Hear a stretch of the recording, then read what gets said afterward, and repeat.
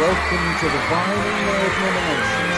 And today we will reveal the fifth Nerd nominee of the Talk title, Vinyl Nerd 2021. So let's get on with it.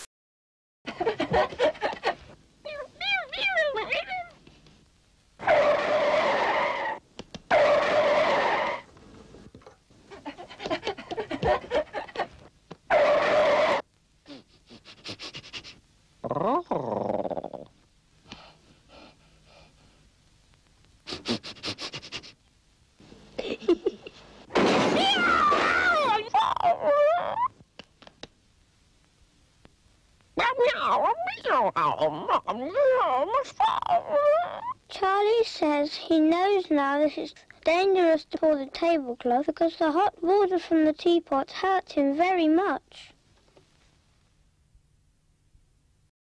It's Ichiban, Ichiban, da da da da da da da. It's just great fun. You wanna be in my gang, my gang, my gang. You wanna be in my gang.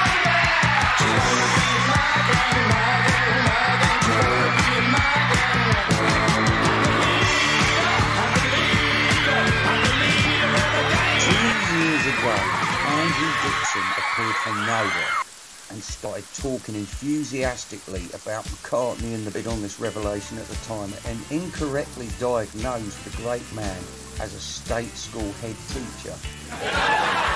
Two years down the line, Andrew Dixon has taken over the internet with a combination of complex quizzes, archive box sets, and annoying guitar players. So, how did this man of mystery come to break the news? Well, here are my theories. One, just like the Beatles, Dixon broke the states. This gives the man extra credits and almost unlimited powers.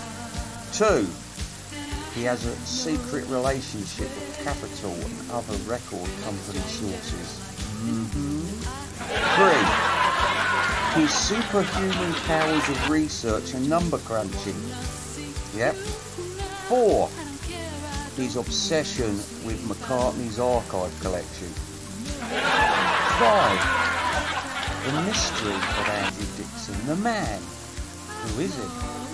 Nobody knows. Six, his controversial World Cup series. Seven, his long-winded top ten lists. And eight, his irritating guitar playing. And, uh, of course, Andrew Dixon, the frustrated rock star. So, look out, Vinyl Nerd community. Dixon is on the rise, and you will be crunched under his boot. Well done, Andrew Dixon. No prisoners! Ichiban. Ichiban. It's just great fun.